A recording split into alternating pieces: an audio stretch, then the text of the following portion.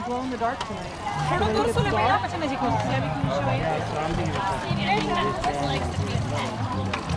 But what are you doing Tejas, what are you doing खाओ का milk निकाल रहा है मुझे देगा और किसके लिए निकाल रहा है इतना सारा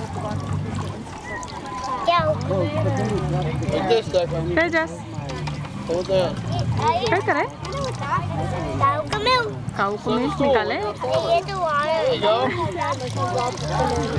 वो काऊ ने कुछ खाना नहीं खाया ना इसलिए वो It's actually water. Yep.